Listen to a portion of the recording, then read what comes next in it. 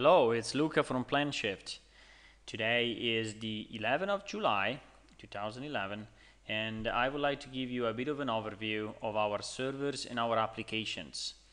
We have quite some servers to uh, have PlaneShift running and uh, also we have built some custom applications to uh, manage the data uh, into it.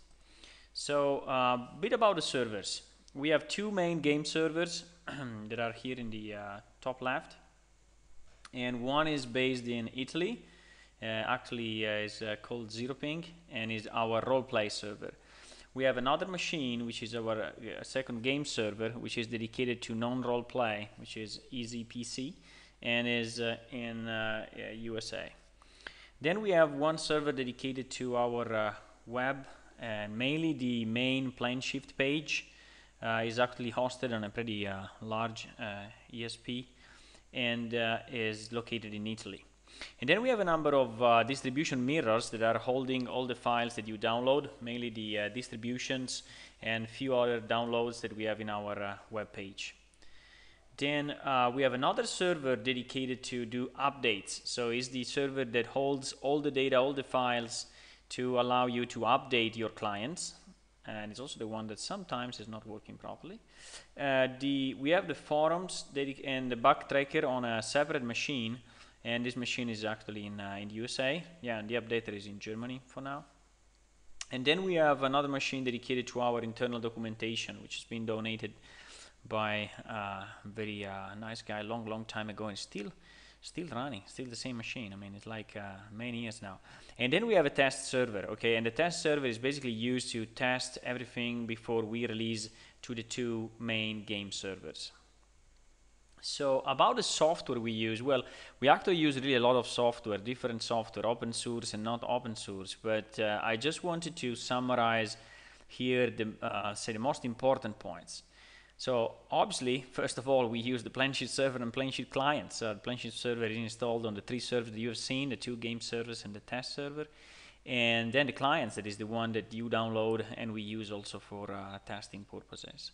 Then we use Crystal Space as our uh, 3D rendering engine. I have to say that uh, Crystal Space and PlaneShift are very, very tightly connected.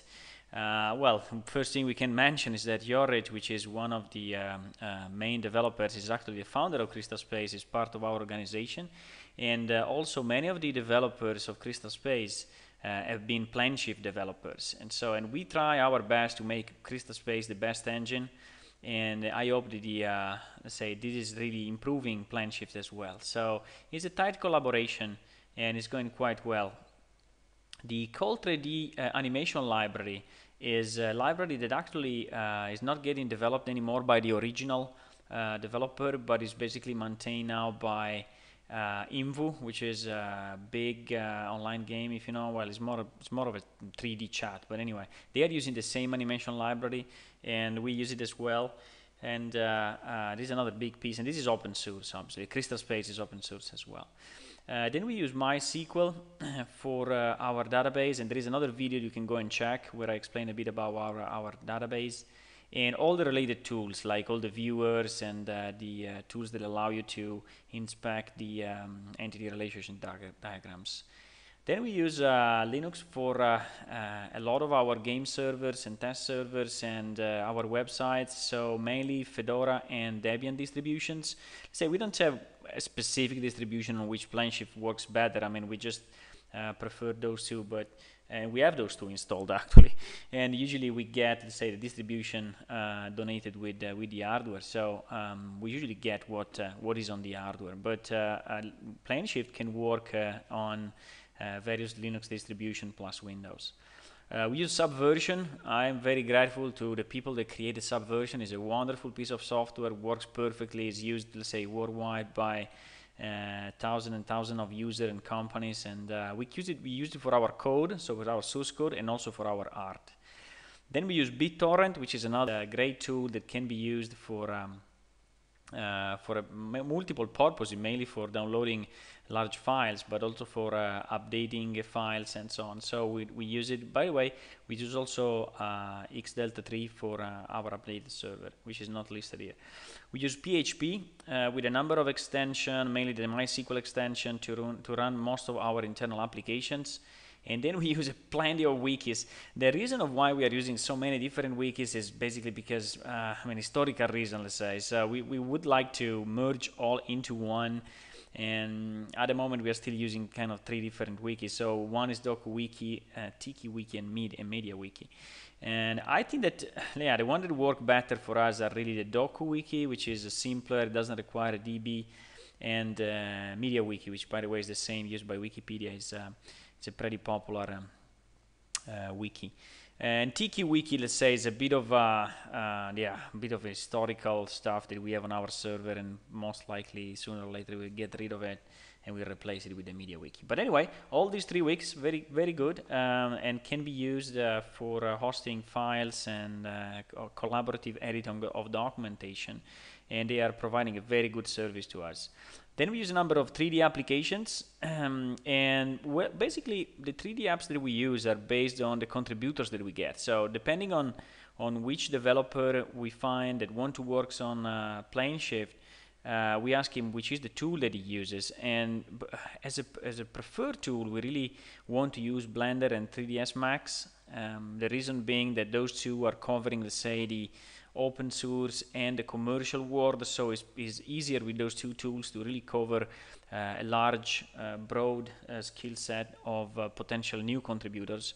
And then sometimes we use uh, Maya as well. Um, with Maya we have some issues on the exporting the most complex geometry like rigging and animations but for simple object it can be used as well. And plus we have built a number of custom exporters uh, some are built by the Crystal Space community, others are built by us.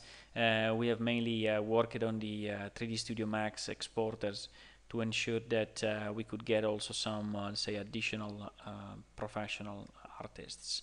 So another thing that we use a lot is SSH and PuTTY, and mainly for working with our servers. So there is a lot more software that we use. I cannot mention it all here, but I think it gives you a pretty good overview. In terms of data storage, the PlaneShift server and the client installation, let's say with all the dependencies, is about four gigabytes. So it's not huge, but anyway, it's not it's not small. And obviously, you need that only if you want to install, let's say, the full server with the full data, full artwork, and so on. So that's basically uh, an estimate based on what we have on our servers today.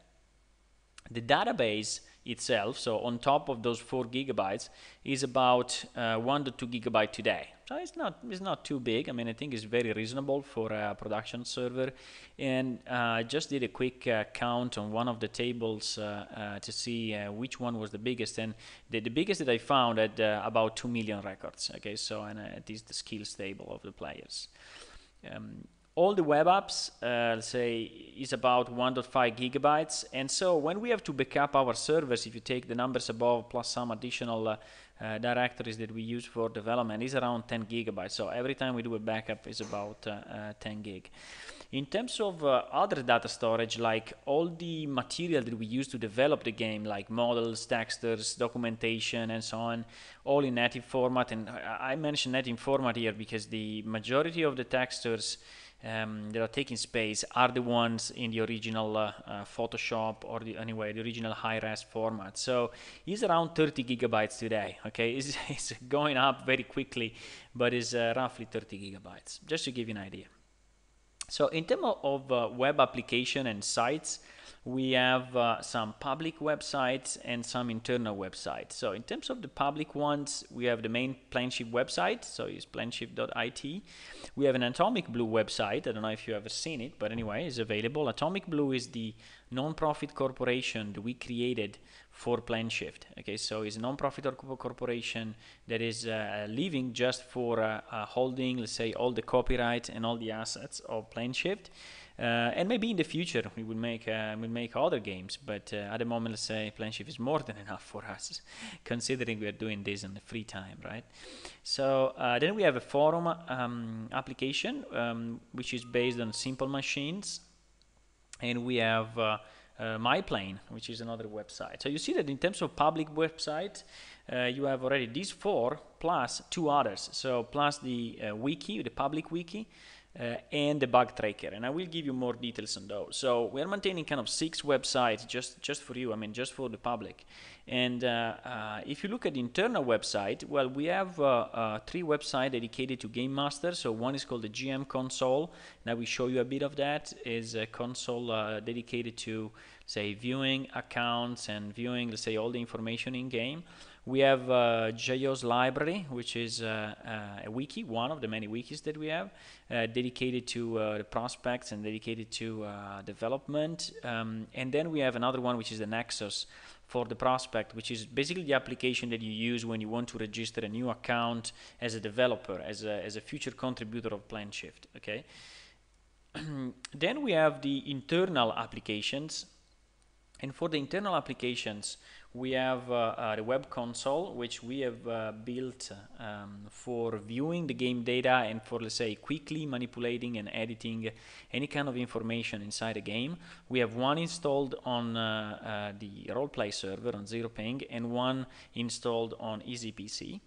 Um, then we have two other applications. We have an internal wiki uh, which is containing, let's say, for example, our release plans for 06 and uh, is containing, let's say, workflows, master plans, and uh, all the links to other to all the other web apps. Uh, and then we have another uh, um, part of JO's library, which is actually internal, which is dedicated to our internal documentation. So as you can see, it's a lot of website, a lot of applications. Uh, if the question is, can we consolidate some of them? Yeah, probably yes. I mean, is the effort, let's say, really worth um, the, the value they will bring? I don't know. So, I mean, that is why we didn't do it up to now.